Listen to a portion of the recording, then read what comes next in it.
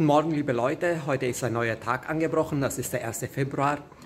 Und ich bin noch immer in meinem Hotel Estoril. Es geht mal zuerst zum Frühstück und danach zur Erkundung der Insel Boa Vista. Also da freue ich mich drauf. Und bevor ich jetzt die Räumlichkeit verlasse, wollte ich sie nochmal euch zeigen. Der Weg zum Restaurant führt einfach jetzt die Treppen darunter. Überall sind Blumen anzutreffen so zum Beispiel auch beim Eingang ins Restaurant.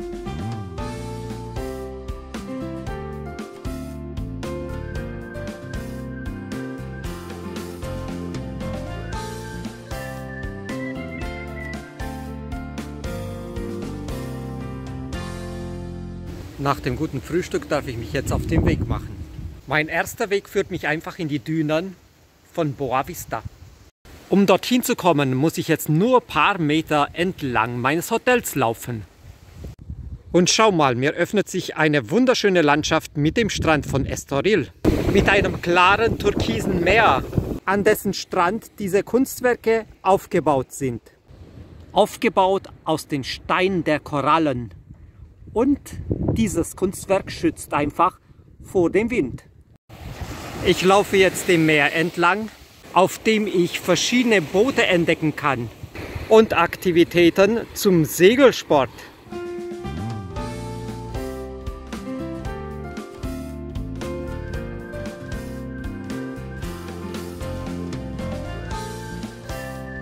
So kann man seine Freizeit hier auch verbringen. Entlang des Strandes befindet sich jetzt ein Häuschen, in dem sich eine Bar und ein Restaurant befinden. Und genau hier sollte man ein bisschen verweilen, einfach die Natur genießen.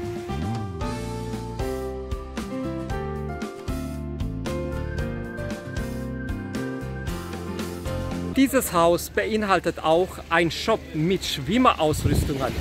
Und was hier noch besonders ist, man kann diesen Ort als Fotomotiv nutzen. Schaut mal, wie schön es hier ist.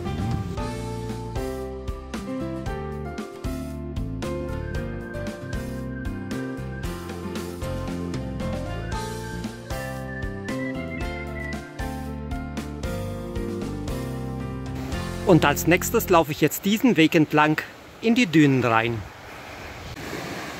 Diesen Platz müsstest du in Erinnerung haben. Genau an dieser Stelle wurde vor Jahren mein Anfangsfilm produziert. Somit laufe ich auch heute noch jeden Film diesen Strand entlang. Eine Veränderung ist da, der Baum ist nicht mehr grün. Für mich persönlich ist es einfach aufregend, hier zu stehen und die Vergangenheit zu spüren. Somit kann ich auch sehen, dass eine Veränderung da ist. Die Zeit bleibt nie stehen. Wieder mal angekommen an einer der Skulpturen der Natur.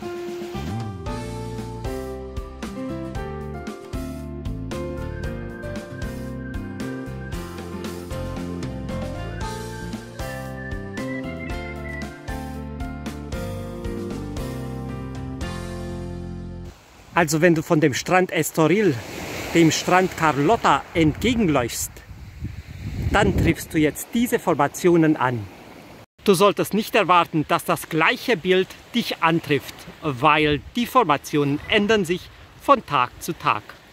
Aber es ist einfach wunderschön, hier zu stehen und einfach diesen Türmchen zuzuschauen.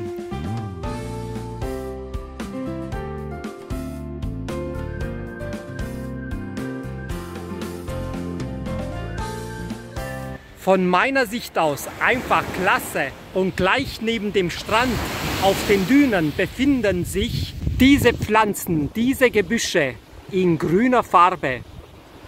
Ein wunderschöner Kontrast zwischen der grünen Farbe des Baumes und des weißen Sandes. Sind diese Dünen vergleichbar mit anderen Dünen auf anderen Inseln? Da muss ich sagen, ja, mit den Dünen aus Gran Canaria. Aber da jede Insel ihre eigene Gestaltung hat, sind diese Dünen als sehr klein und sehr viele an der Zahl.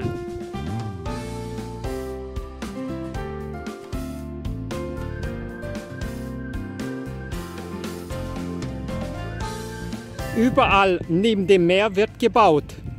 Somit wird das Aqua Beach Restaurant auch erweitert. Und da ich euch die kapverdische Flagge noch nicht gezeigt habe, hier wählt sie auf diesem Restaurant. Ich laufe der Küste entlang und schaut mal her, wie sich wieder ein neuer Platz eröffnet. Er spendet nicht nur Schatten, sondern bringt einfach meine Gefühle durcheinander. Wieso denn durcheinander? Weil ich immer begeistert bin, neue schöne Plätze zu finden und der ist es auch.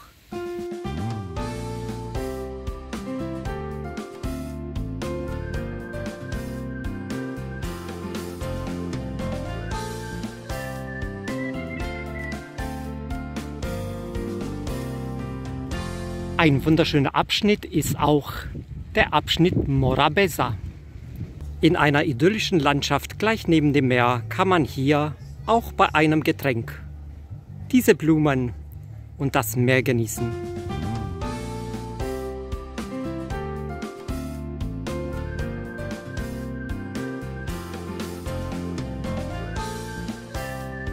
Und denjenigen, den den Hunger packt, kann einfach hier in diesem Restaurant ganz ruhig am Meeresrand essen.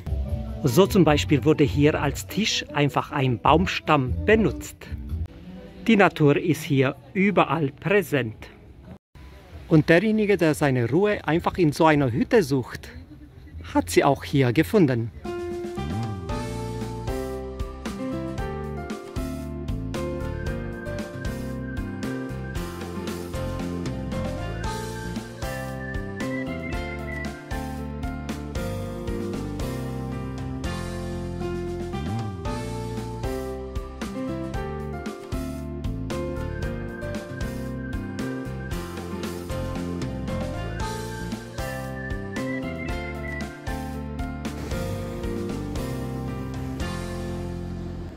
Und da ich euch jetzt genug von dem Meer gezeigt habe, möchte ich jetzt euch die Schönheiten der Stadt Salre zeigen. Ich laufe durch Straßen mit großen Plätzen vorbei, in denen sich viele Geschäfte befinden. Nach einer langen Zeit hat man sich hier beschlossen, das Zentrum umzugestalten. Deswegen ist auch hier eine große Baustelle. Ich habe jetzt entschlossen, einfach diese Nebenstraße entlang zu laufen. Und egal wie man es dreht, kommt man immer zum Meer heraus. Auf der Strandpromenade entlang gelaufen komme ich jetzt auch an diesen schönen Punkt. Und was findet man an diesem Platz? Einfach ein großer Platz neben einem Strand, der auf einer Seite ein Museum hat. Das Museum der Archäologie, das zu jeder Zeit besucht werden kann. Ich werde meinen Weg jetzt weitersetzen, einfach dem Strand entlang. Nur ein paar Meter weiter gelaufen kann ich entdecken, dass hier auch der Hafen versteckt ist. Und genau hier kann man bemerken, mit wie viel Aufmerksamkeit hier gearbeitet wird.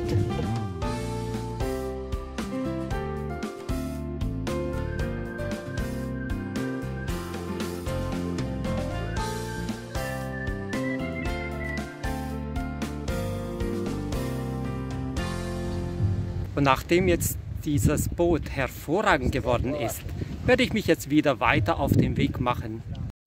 Nur ein paar Meter vom Hafen entfernt liegen jetzt diese bunten Häuser. Und eines dieser Häuser beinhaltet eine Bar. Diese Bar heißt Casa Rosa und ist mir aufgefallen nicht nur durch die Architektur, sondern auch durch die Möbel.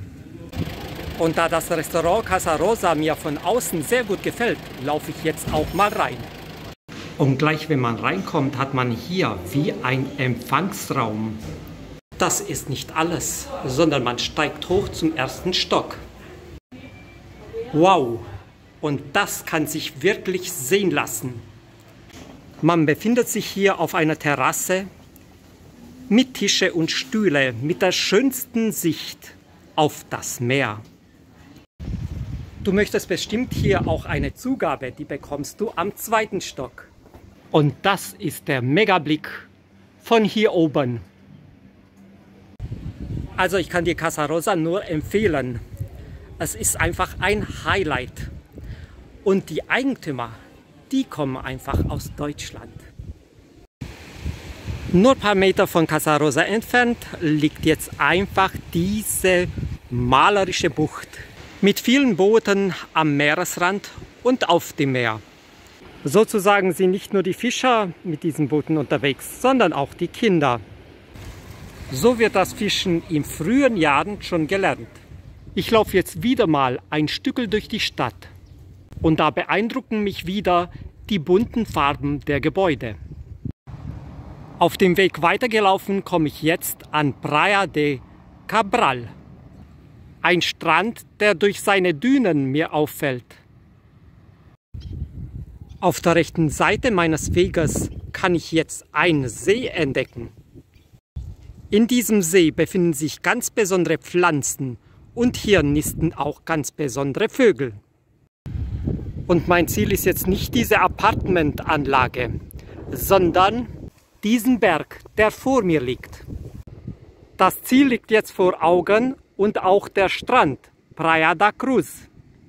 Wieder mal ein schöner Fleckel auf der Welt. In meinen Augen ist das die schönste Bucht der Welt, einfach durch die Gestaltung der Natur. Du möchtest jetzt ganz bestimmt die ganze Gegend sehen, die kannst du jetzt haben.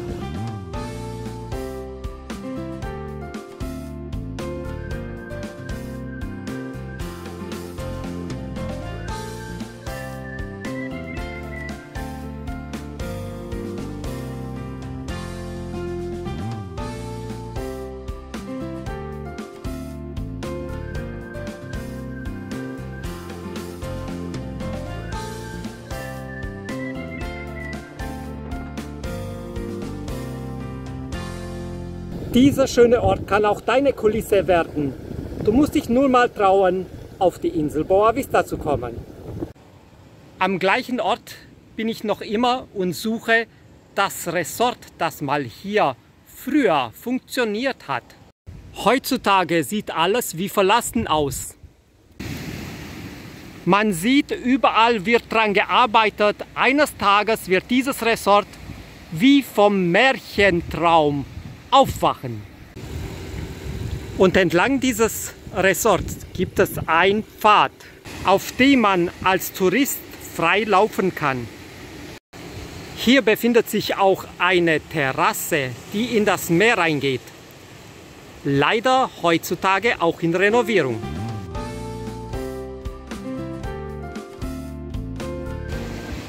Auf diesem Weg erwarten mich viele Aussichtspunkte, indem ich viele Buchten antreffe, an dem das Meer einfach an die Felsen schlägt.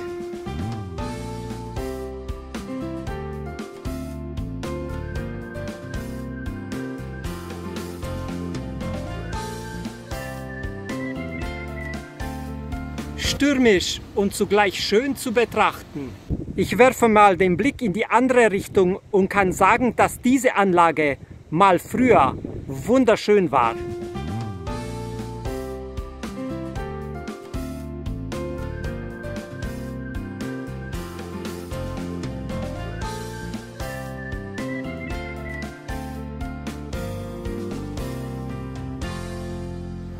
Bei so einem Luxus könnte man sich's gut gehen lassen. Aber sozusagen auch mit wenig Geld kannst du diesen Ort besuchen. Ich mach dir's ja vor. Dann kannst diese Natur, diese Berge kostenlos erleben.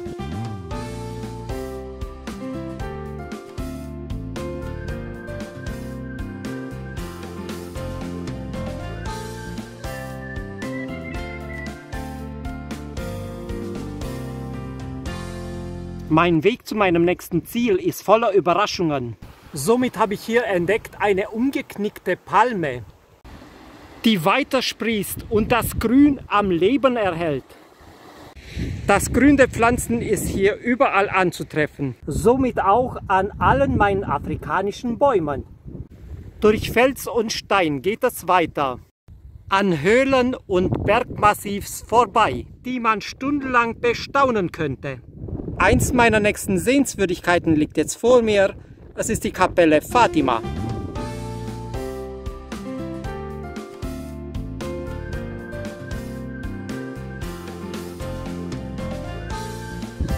idyllisch gelegen im Norden der Stadt Salre. Diese Sehenswürdigkeit bietet nicht nur Schutz den Gläubigen, sondern auch den Touristen. Meistens auf der Insel weht ein starker Wind. Hier im Schutze der Kirche hat man jetzt ein stilles Örtchen. Wenn du schon den Weg gemacht hast bis hierher, lohnt es sich, einfach auch einzutreten. Hier den Altar zu bestaunen und hochzuschauen zur heiligen Maria.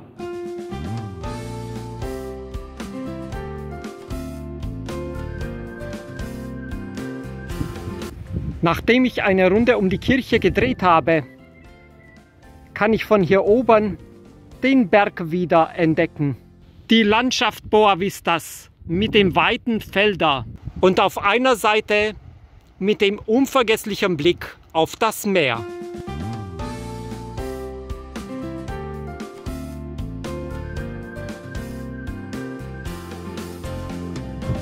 Nachdem ich jetzt diesen Weg genossen habe, kann ich euch sagen, dass diese Insel noch viele Plätze hat, die entdeckt werden müssen.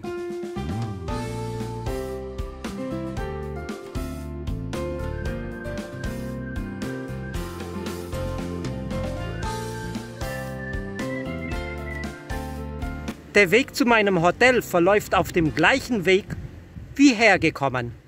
Somit streife ich wieder an den gleichen Landschaften vorbei.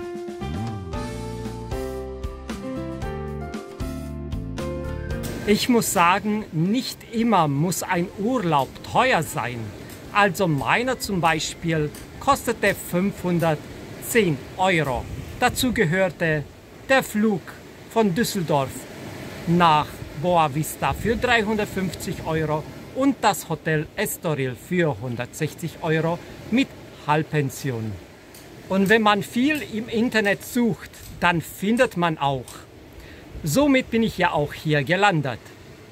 Aber jetzt so langsam kommen wir zum Schluss, genau an dieser wunderschönen Stelle. Ich kann sagen, es war ein erfolgreicher Tag mit den Highlights von hier aus Boa Vista. Und somit schließe ich für den heutigen Tag den Film. Aber wir sehen uns ja morgen wieder, wieder mal hier auf der Insel. Bis dahin wünsche ich euch alles Gute. Macht's gut. Ciao.